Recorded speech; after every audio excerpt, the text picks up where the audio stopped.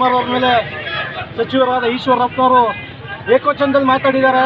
ಅವ್ರಿಗೆ ಯಾವುದೇ ರೀತಿ ನೈತಿಕತೆನೇ ಇಲ್ಲ. ನಮ್ಮ ನಾಯಕರುಗಳ ಬಗ್ಗೆ ಮಾತಾಡೋಕ್ಕೆ ಅವರು ನಿಜವಾದ ದೇಶದ್ರೋಹಿ ಅಂತ ಹೇಳಕ್ಕೆ ನಾನು ಬಯಸ್ತಾ ಇದ್ದೀನಿ. ಯಾಕೆ ಅಂತಂದರೆ, ನಾ ಬಾಬಾ ಸಾಹೇಬ್ ಅಂಬೇಡ್ಕರ್ ಅವರು ಏನು ಸಂವಿಧಾನ ಕೊಟ್ಟಿದ್ರು, ಅದರ ಆಶೆಯಲ್ಲಿ ನಾವೆಲ್ಲ ಬದುಕಿರ್ತಂಥವ್ರು ಅವ್ರು. ಏನಂತಾರೆ, ನಮ್ಮ ರಾಷ್ಟ್ರಧ್ವಜನ ಇಳಿಸಿ ಕೇಸರಿ ಆರಿಸಿ ಅಂತ ಹೇಳ್ತಾರಲ್ಲ, ಅವರಿಗೆ ಯಾವುದೇ ರೀತಿ ನೈತಿಕತೆನೇ ಇಲ್ಲ.